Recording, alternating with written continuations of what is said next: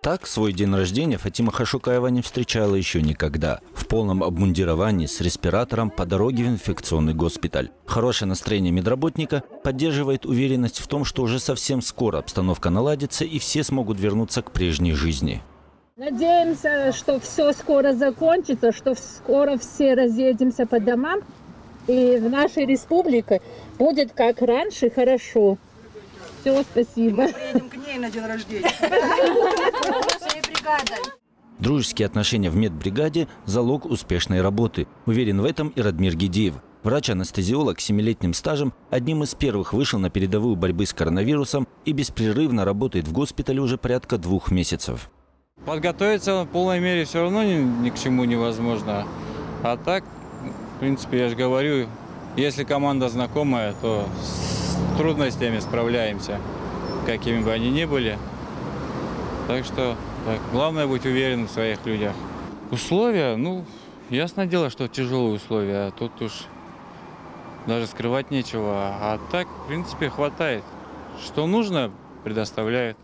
Условия работы действительно непростые. Каждый день группа из 12 человек заступает на 6-часовую смену. Только представьте, 6 часов в противочумном костюме, в респираторе, без возможности даже выпить воды. И так они спасают жизни, действительно работая на износ, потому что знают, что их ждут и на них очень надеются.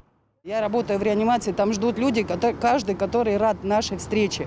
Где-то с надеждой, где-то да. Они начинают нас благодарить, но наша главная их благодарность, когда они туда выходят на своих ногах, живы и здоровы. Больше нам никакой благодарности не надо. Это вот серьезно лично от меня. В большинстве своем эти ребята до объединения в одну медбригаду друг друга не знали, но работа их сблизила, сдружила. Керим Бабалу самый молодой в группе, ему всего лишь 19. Этим летом его еще ждут выпускные экзамены в Республиканском медколледже, а пока он на практике показывает свою профпригодность. В бригаде относятся к нему с большим уважением, ведь парень пришел работать в госпиталь добровольцем.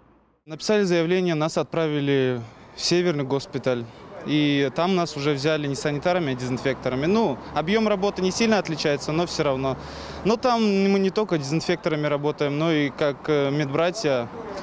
Так как по образованию мы медбратьям, там поставить капельницу, сделать укол, что-то еще.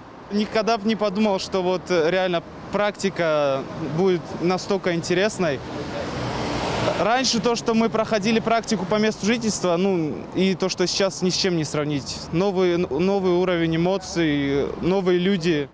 Эти люди рискуют собственным здоровьем, открывая двери госпиталя. Но по зову сердца, по зову долга, ежедневно и без выходных выполняют свои обязанности. Они проходят через множество трудностей и лишений, чтобы хоть как-то помочь заболевшим. И в наших силах помочь самим врачам. Для этого всего лишь нужно соблюдать правила самоизоляции, избегать массового скопления людей и не забывать про санитарные нормы. Эрнест Чуков, Мурат Кимрюгов, Архиз, 24.